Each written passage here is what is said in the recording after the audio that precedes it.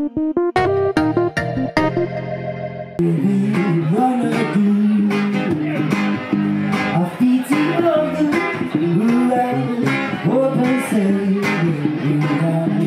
tous mes premiers albums, je parle pas mal de la Guadeloupe et je chante un petit peu en créole parce que j'ai grandi là-bas, de l'âge de 10 ans à l'âge de 23 ans. Et ma mère vit toujours là-bas au Moule. Donc euh, voilà, c'est euh, une culture que j'affectionne particulièrement et euh, je trouve que la Guadeloupe c'est un, un exemple de rassemblement, de métissage et ça me plaît beaucoup, ça me parle.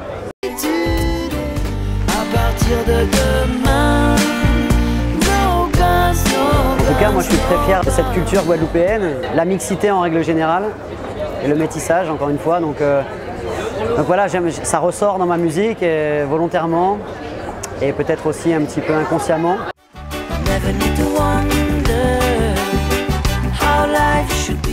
Ça fait euh, quelques années que j'ai pas sorti d'album parce que euh, bah, je, voulais vraiment euh, élever le, niveau d'écriture et tout, donc je suis allé travailler avec Francis Cabrel dans des rencontres d'écriture.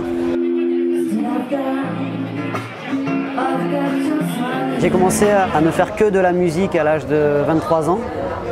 Et voilà, il s'est passé du temps, il s'est passé trois albums et beaucoup de concerts, beaucoup de voyages, donc beaucoup de rencontres. Et moi, je me nourris des rencontres. Je veux une planète bleue, une planète mieux. Alors l'écologie, c'est un sujet qui me tient particulièrement à cœur. Euh, je l'aborde déjà dans les premiers albums et je continue de m'attaquer à ce, à ce sujet. Il y a un lien très fort à, à l'océan. J'ai grandi euh, dans les vagues, euh, avec David entre autres, avec plein de copains en Guadeloupe et avec David. Vraiment, je suis super fier et ému de le voir euh, prendre ce départ. Donc cas de vie, David a dans le soleil. Rien, je voulais pas voir plus loin que demain. Je prenais le bonheur au jour le jour. Rien de prometteur, mais sans faire de détour.